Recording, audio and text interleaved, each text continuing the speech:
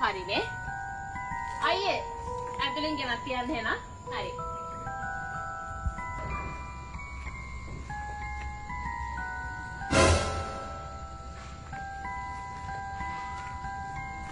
මේ මේ මේ කොහින්ද මේ මේ මෙට්ටයක් මං ඕඩර් කරා ස්ප්‍රින් පෑල් එකෙන් අපිට. ඇයි මේ හදිසියේ අයියානේ මං කිව්වේ පෞගේ දවස් ටිකේම නිදාගත්තම මං කොන්ද රිදෙන්න ගත්තා කියලා.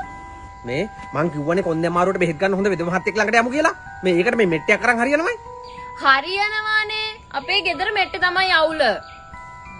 මේ තමුන්ගේ තියෙන කොන්දේ අමාරු වලට අර මෙට්ට පලි නෑ මේ තියෙන මෝඩකම තමයි ඉතින් නෑ අනේ අයියෝට මතක නැද්ද? ගිය සතියේ සමන් අයියලා ගෙදර ගිහලා නිදාගත්ත දවසේ මට කිසිම කොන්දේ අමාරුවක් තිබුණේ නෑනේ. කිසි හලහොල්ම නැතුව මට නිින්ද ගියේ. කිසිම අමාරුවක් දැනුන්නේ නෑ.